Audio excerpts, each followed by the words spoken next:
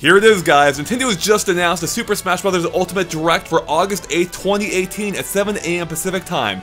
That's less than 3 days from now, in which we're going to have brand new information about the game.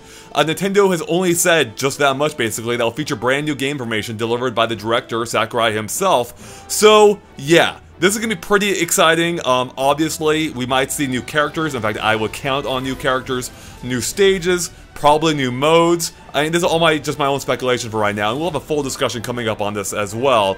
But man, this is pretty freaking hype right now because we've all been waiting to see more of this game, and we figured that'd be coming sometime soon. And sure enough, uh, soon is just three days away. Again, it's August 8th, 2018 at 7 a.m. Pacific Time, 10 a.m. Eastern. And of course, you can count on the fact that we will be there to cover it all. And with that, guys, thanks for watching. Of course, stay tuned to GameXplain for lots more about this upcoming Direct, including our predictions and everything else Nintendo Switch as well. Catch you later. Bye.